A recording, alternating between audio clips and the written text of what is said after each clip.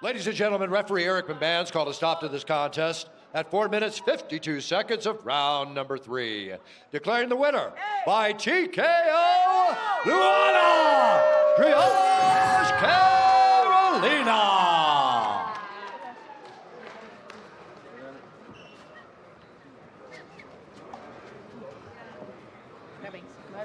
I'm here with Luana Carolina. Luana, two wins in a row in your first UFC finish. How good does it feel?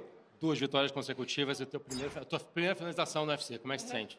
Muito feliz. Nossa, só Deus sabe, e a família, o pessoal que tá comigo, o que a gente passou para chegar até aqui.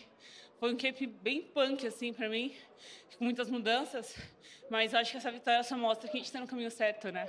Uh, very happy. Uh, only God knows, only my family knows all this stuff that we had to go through. This was a hardcore camp, but I think it showed that we're in the right track. How deep was that submission, and were you surprised at her reaction when you got out of it and started to really pour it on her? Você estava ali numa situação bem complicada naquela hora que ela te pegou, o quanto estava perigoso mesmo, e você acha que ela surpreendeu na hora que você conseguiu sair dali? Não, não me surpreendeu, porque a gente treinou muito. Os meninos do Gil que o diga.